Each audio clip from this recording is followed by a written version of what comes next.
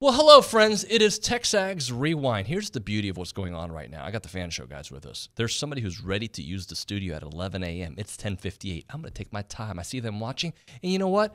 That's the kind of mood I'm in. Hello, friends. We had a good time today. Hey, yeah, we sure did. Hey, Good morning. it's the soccer hater. Uplifting Hey. show. We need we hate need more soccer talk. That's what we need. I hate soccer. I just don't understand it. That's all. Well, that's I, would fine. like to. I want to Soccer is understand it. exciting because at any given moment, the entire game changes. We just lost everything. Sorry, guys. Now for our four people left, uh, let's talk about the hardwood. Kelly, you liked what you saw from the basketball team? Looking good. Five I'm really seconds happy. or less. Really happy. What you did? You, any of you guys hear McGee and uh, Swope together today? I did. We yeah. need more of that. That was good. You wasn't need it? more Yeah. of that. Yeah, yeah. We're all gonna go snipe hunting. You want to go? And there's a Man, yeah, yeah, there's a sounds eight, like fun. eight snipe limit limit per day in Texas. Have fun. All right, let's go do it. We had uh, AT around college Scattershot. football, and these guys they gave out their like predictions or not predictions, excuse me, of their awards. Who's the best player on offense, defense, best freshman, all that and more. It is Texags Rewind. A and M played, especially in an in a um, ten minute stretch. They played about a, a perfect a defensive game as you can play. Yeah. and they uh, they turned those what are they, what's the old line? Beat them like a rented mule. They turned the Mustangs into a rented mule. Yeah, they did. Uh, it was it was very dominant second half. It was uh, very impressed. I mean, they were they were good the whole game. The first half, they were definitely the better team. They just never were able to sustain that lead long enough. Yeah, and that's that that's, That's not that unusual, right? Uh, as the game progresses, depth takes a toll. Um, th- just the fact that you're the better athlete and basketball player takes a toll. In fact, if this one kid from SMU, uh, their guard number one, they had a funny name, Yeah, yeah. Uh, and I can't think of it right now. You know, he's bombing threes more than he had all year, and if not for him, they really had no other option because A and M was taking everything away. One thing, couple things I noticed. I think the score could have been significantly more worse for SMU. A&M missed a, a bunch of shots up close. um, Early. Early, yeah, yeah. A bunch of shots like just, you know, either they were fouled or they didn't call the foul sometimes, or they just were off on these breaks. But there were there were some gimmies yeah, there. there were. Uh, I think Henry Coleman missed three. I don't want to call them easy layups, but may, layups you expect him to make There you go. um, to start the game, and yet he ends up Was it the rest of the game. He scored 23. And so if he missed three, then he made 10 of his last 15 shots. So he, after missing his first three, he shot 66.7%. He had himself. You'll a take game. that. They were really. It looked to me, Ob, um, that they were making a concerted effort to go to the paint often. Like Well, they well- wanted to score in the paint. Yeah, I think so. But also, I mean, they were getting it done. And, and, uh, and you know, SMU really has more high down low. Yeah.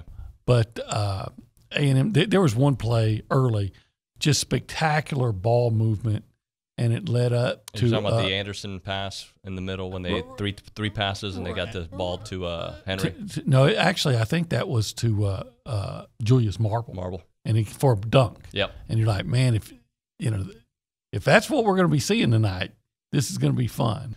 Well, I went to the Alabama game last year. I hadn't been to many football games, unfortunately, because I've three three boys. Yeah. young, a lot going on.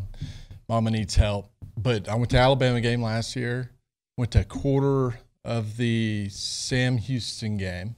Before the weather got bad.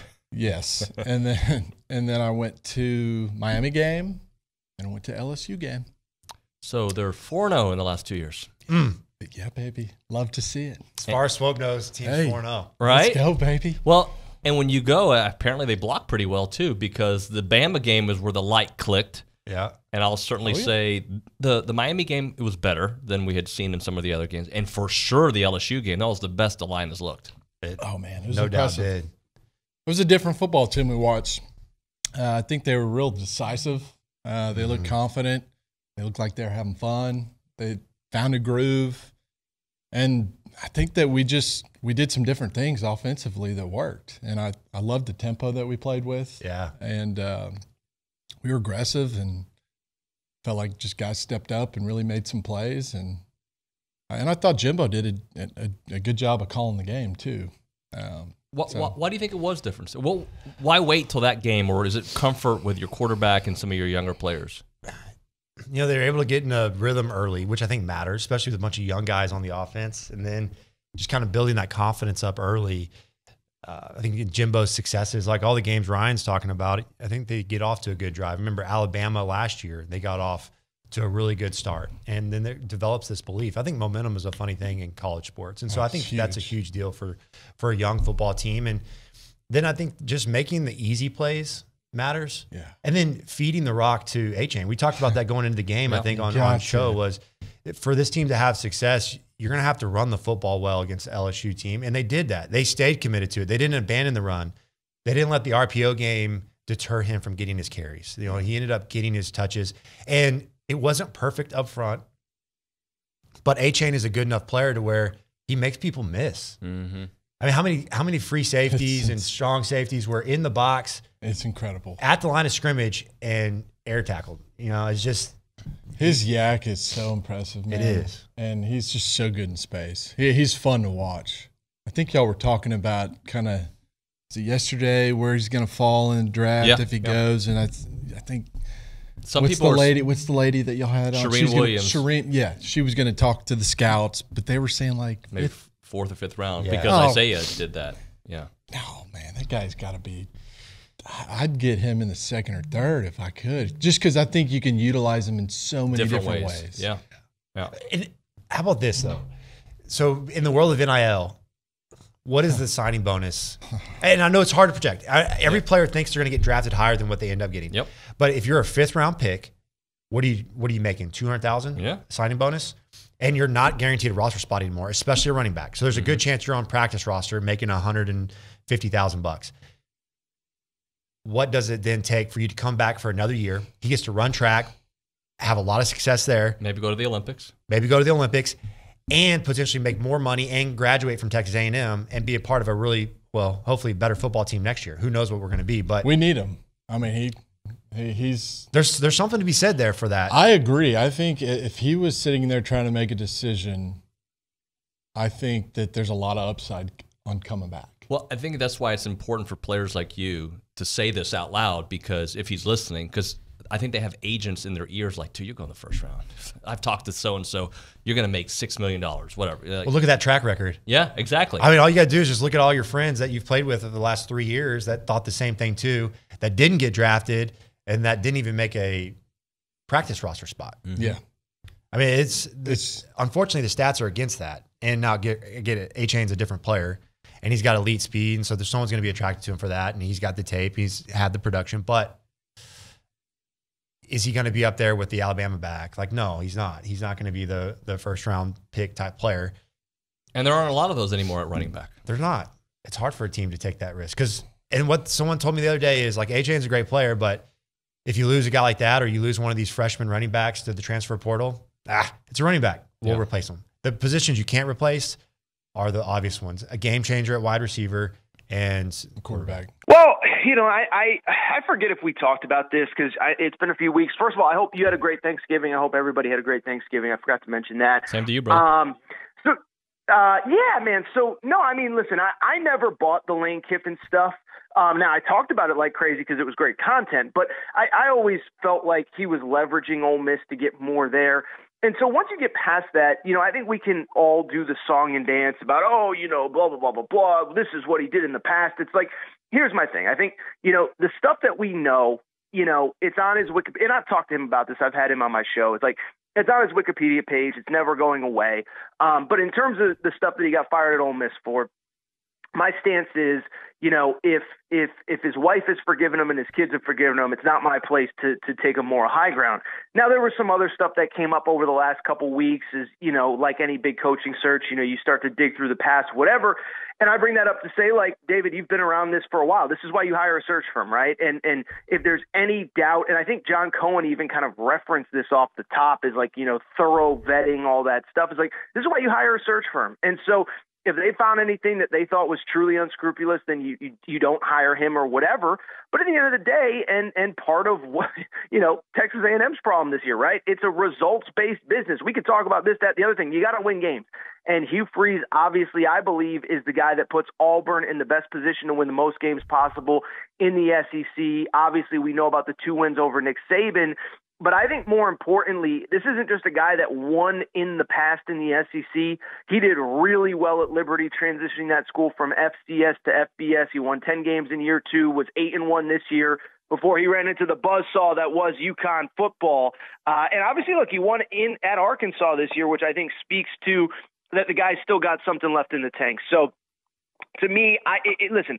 If you're either an Auburn fan or an opposing fan, that the guy just makes your skin crawl. Okay, whatever, that's fine. That's your prerogative. But like I said, what we know, he's been very vocal about, very transparent about. And again, if his if his wife and kids have forgiven him, it's not my place to decide what's right and what's wrong. And now we just get another really good coach in the SEC, and I'm really fascinated to see how it all plays out. What's going to happen with Deion? You know, I, I don't know, man. You know what I what I said yesterday, and I and I truly believe it. And I think there's a little bit of a parallel in Texas that I'll explain in a minute. Is I, I do find it very interesting that you know within 24 to 48 hours of the season being done, um, Nebraska hired its coach, Auburn hired its coach, um, Georgia Tech, you know, Trent freaking is a head coach. Uh, what's the other one I'm missing? Arizona State, Wisconsin, et cetera, et cetera. And so I just find it very interesting that Colorado is just kind of like, no, we're we're, we're not in a rush, no transfer portal, no, we're good, we're we're hanging. Like to me, it, it's just something doesn't add up unless they feel really confident that he's their guy. Um, and maybe you know they play a game this weekend. Maybe they, they're willing to wait an extra week to see if he'll take it. But it feels like it has to be something more than that, at least in my opinion, and I could be totally wrong. So that's my kind of armchair analysis of that situation. But again, it, with Deion, it comes down to everything that everyone has talked about with him is is you know it's hard to know what his end game is. He's obviously not motivated by money. He's given back some of his salary actually to Jackson State to to help the, the football team and the football program. So I, I you know I just don't think anybody really knows what his motivation is, and until we find that out, we uh, you know we're we're not going to find that out until we find out an, an answer at Colorado. But again, I, I just find it very interesting that everybody else had their guy in place within 48 hours after the season. We're now, you know, six days removed from Colorado's season being over, and they seem content to just hang out. And by the way, and we know that he has the, the offer too. That's been he himself has confirmed Bruce Feldman's report, which I find interesting. There's many things that we would like to fix, right? Mm-hmm. So, what is something? What is the the main thing? And we can't just say offense. I want I want us to be specific. What is the main thing you would fix for next year? Um, I mean O line. O line. It's got to be O line. I mean, we we can literally look out there and see just from this game, even even the previous games. All right, Conner Conner's the guy. Right, I don't think we I don't think we doubt that Conner is a good quarterback. Mm-hmm. Right, you can see it. I mean, true freshman learning the ways out there, but but he I think he's the guy. Yep. I feel like we've got good skill position guys. We've got great receivers. Moose, Stewart, Noah Thomas, I think is going to be really good. I, I mean, too. he looks the part. Um, you've got a good stable of tight ends.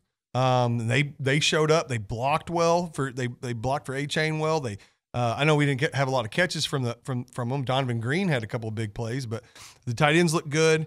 Obviously, the running backs have been. I mean, even when even when Achane was out, Amari Daniels came in, had two huge runs, um, and so everything offensively looks really good, but they're not producing because the O line. The quarterback doesn't have time to throw. There's no holes open for the for the for the running backs, and so it's. I think the our entire success leading moving into the future has to be around that O line. If that's one A, would pass rush be one B?